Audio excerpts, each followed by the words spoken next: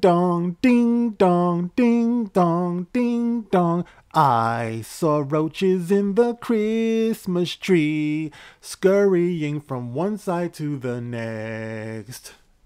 They weren't even afraid of the raid we sprayed and sprayed. Once those eggs were laid, it made our holiday cheer fade. Yes, I saw roaches in the Christmas tree. Did you know roaches reflect the light? It's true. Oh, it should be against the law. I can't believe that I saw roaches in the Christmas tree last night. Ding dong, ding dong. I did. I really did see roaches in the Christmas tree. a holiday classic for you. What's up, guys? This is the Gospel according to Marc with a C. He is I, and I am he. Just taking some time to tell you exactly what's on my mind. Thank you for joining me. Once again, my friends, hope all is well with you. Hope uh, you're being safe on this uh, holiday. Hope everyone's traveling back and forth safely. Um, listen, guys, we want to talk about the Marvels. As we know, the Marvels is a dismal, dismal, painful, embarrassing failure. And because of that, there's a lot of fingers being pointed, a lot of blame going around and everything like that. And I think that it's important to point out this article that I see from The Root, where they are employing their black girl magic to protect and and defend the director of the Marvels, Nia DaCosta. All right, so let's get into what they have to say here because there's a point here that I think that they're gradually coming to that I've been talking to. I've been talking about this for years, right? And I hope that people are beginning to understand where I'm coming from because I take a lot of heat from this. If you've been following me on Twitter, you see that this week in particular, I've been getting dumped on for my take my suggestion even implying that the MCU had a better laid out plan in phase one and two and all that stuff. In other words, the, the best days of Marvel and the MCU are behind us right now. It doesn't have to be that way, but as it stands, it is. A lot of people didn't appreciate that. They were attacking me on Twitter, but let's get into what this article has to say right here. And the headline goes a little something like this Hit it! Amid the Marvel's box office failure, black women will defend Nia DaCosta at all costs. As Marvel reckons with the disappointing performance of its latest movie, we're defending the phenomenal director from unwarranted attacks. You go, girl. Let's see what it has to say about this, okay? Uh, it starts off with the Marvels poised to become one of the MCU's lowest grossing films ever. There's a lot of finger pointing and blame circulating through uh, Marvel Studios and Disney. Unfortunately, it seems like someone has decided to center that blame on Nia DaCosta. Since the film's release earlier this month, she's been the target of a rash of hit pieces in Hollywood trades, and it needs to stop. Yeah, we here in the fandom know about that rash of hit pieces, don't we?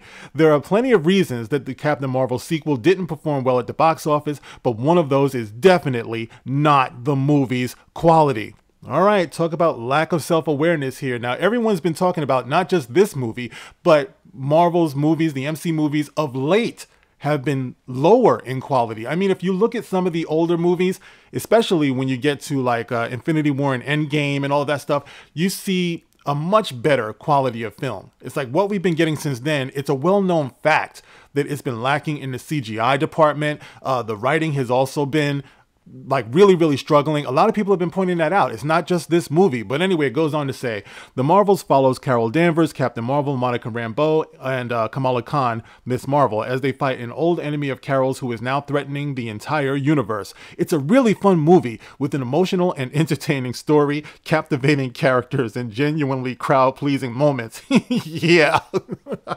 like uh, visiting a planet where everybody sings. Yeah, that's crowd pleasing. Plus, it does all of this in an hour and 45 minutes, proving you don't need to keep the audience hostage for over three hours to tell an entertaining and interesting story. And of course, that is true. However, we all know that this movie was plagued by rewrites and reshoots and all of that stuff. Now, this article wants to ignore that because they want to defend the black woman. Black girl magic. Uh, it, says here, if you're a fan of Carol, Monica, and Kamala, it delivers everything you want from the next chapter of their character arcs. It was a reminder of why we became so invested in the franchise in the first place. The cast, crew, and DaCosta hit it out of the park. Unfortunately, that's not the narrative some Hollywood's execs and trades want to tell you. Talk about in denial, guys. It says ahead of the film's release, when the opening numbers were projected to be low, we saw stories pop up about DaCosta leaving the set before post production was complete, a rumor that the director had to clarify, stating that everyone knew scheduling delays meant she would have to eventually leave for her next project. Quick question Have you ever, ever heard anyone say something like that about white male MCU directors like the Russo brothers or Jon Favreau? Of course not, because they get plenty of room to do whatever they want. Okay, let's ignore the fact that the Russo brothers and Jon Favreau actually deliver. And if they fail, well, then they admit their failure and they go back and do better. They don't come up with things like this, okay? DaCosta, unfortunately, has not delivered unless you lower your standards way down, but we're gonna get into that in a minute. On Monday, The Hollywood Reporter prominently featured an article with the headline, Why Marvel's director Nia DaCosta Bailed on the Cast and Crew Screening. This obvious insult to the director sparked an outcry of criticism from black women who thought the outlet was attacking DaCosta for something that is commonplace in the industry. Directors don't regularly attend these screenings. In this case, reports surfaced around social media that DaCosta wasn't even invited. The only reason to try and make this a big deal is to hang an unwarranted, unprofessional label on her. From the moment it became clear the Marvels was going to underperform, there's been a concerted effort to undermine Nia DaCosta. What's rage inducing is that it seems to only become the plan when a woman or woman of color is the director. Plus, it seems like no one wants to discuss the obvious elephant in the room when it comes to the movie's poor performance. Now, of course, that would be the uh, SAG-AFTRA strike. Okay, so they're talking about that and how it stopped them from doing promotion and everything. So they're going to blame it on the strike. Listen, man, the actual movie was lacking. Okay, I'm not going to say that it didn't have some entertainment value for some people. Of course it does. I mean, I've been on TikTok, I've seen people get thousands, if not millions of views just laying around sleeping. I kid you not. You can see that on TikTok as we speak. Someone has got the camera on them as they're sleeping. And you got Simps in the chat talking about, oh my God, you look so good. Got, got. What is that? G Y A T, got. but there's always something out there for someone. So that's not even the question whether it had entertainment value. The fact of the matter is that it lost a ton of money. It is one of, if not the lowest performing MCU movie to date. And it was headed up by a black woman, but they even put a positive spin on that one, okay? So, anyway, it goes on to say, if the studio wanted to give it the best chance at success, it could have moved it to a later release date so the cast could promote it properly. No, it would have been the same thing. You guys, like I said, you are not self aware at all. You don't know what's surrounding this. Okay, it has nothing to do with hating on her as a black woman. Okay, that's the reason why Disney and Marvel hired her because she was a black woman, because they have the soft bigotry of low expectations. That's the reason why this movie is now certified the lowest performing MCU film, but they're still going to turn around and tell you that Nia DaCosta uh, has made history because she is the highest grossing black woman director in the MCU.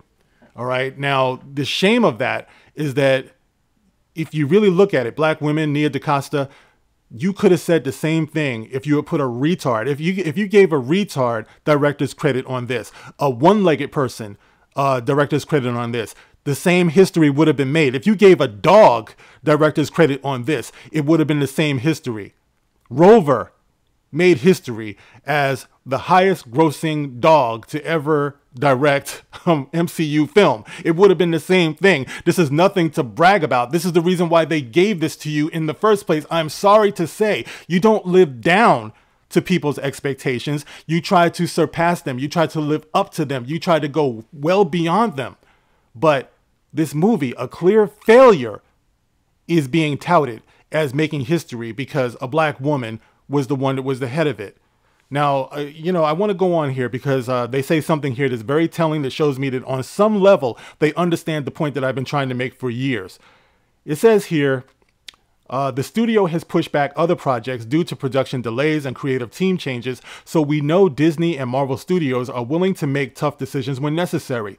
This time around, it feels like they just hung the Marvels out to dry without caring about the effect it would have on the characters, actors, or fans. And now they're dealing with a serious financial hit And now that they're dealing with a serious financial hit, they've reverted to an age old solution blame the black woman. Yeah, and this is what we've been talking about now for a long time. They use black people, in this case, the black woman, black girl magic, to hide their substandard content behind. They're using you as a shield, black woman. I love you. I love you enough to tell you the truth. This is what Marvel has been doing. This is the reason why I said the same thing with Star Wars when it came to uh, Reva, uh, Moses Ingram you know when or, or even finn for that matter. Even uh, john boyega talked about this how they promoted the finn character but they didn't develop the finn character because they're only interested in using us as novelties as gimmicks. And the sooner we understand that the sooner we can hold them accountable for the ultimate damage that they're doing for us in our professional uh, uh um, uh, image you know our um, the way we come across you know to the public and everything. Because if they keep putting us and our image behind their substandard work, you will get no respect for that. Nia DaCosta delivered an exceptional film. That's debatable. That is one of the franchise's best. That's a flat out lie. She absolutely does not deserve to have her name disrespected and besmirched in this manner. It also sends a very loud message to other directors of color that when the chips are down, Marvel Studios doesn't have their back.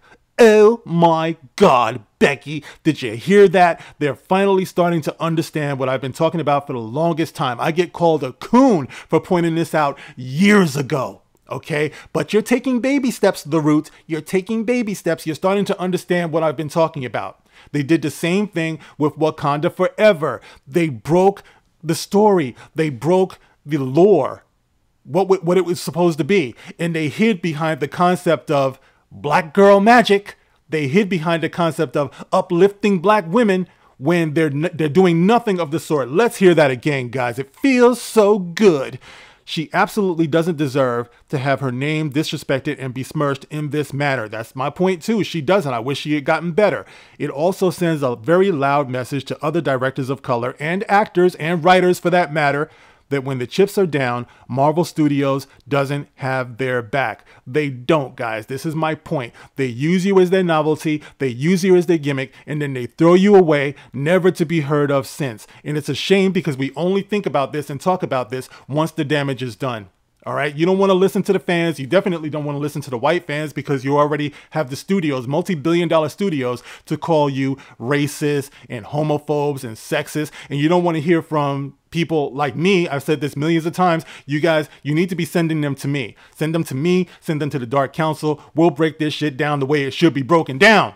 I break it, I slam it on the floor and make sure it's broke, baby. You can't get around this because this is the truth that they want to ignore. All right. And I've been trying to ring this bell for the longest, but it is encouraging a little bit to think that somewhere somebody is starting to put the pieces together. Unfortunately, it's not fast enough. And I fear that they'll go right back to being defensive about it and trying to be in denial about it, about their what they're using these black creators for ultimately is is once again just brownie points, you know, virtue signaling, uh, gimmicks, uh, novelties, and then they just throw you away, guys. But anyway, I just wanted to point that out, okay, because this is an example, of course, of what I've been talking about for the longest, guys, for the longest. So anyway, you can get in the comment section. Let me know how you feel about this. As always, I thank you guys uh, for liking, for sharing, for subscribing, for the super thanks. And once again, you guys have a happy and safe holiday. This is the gospel according to Marc with a C.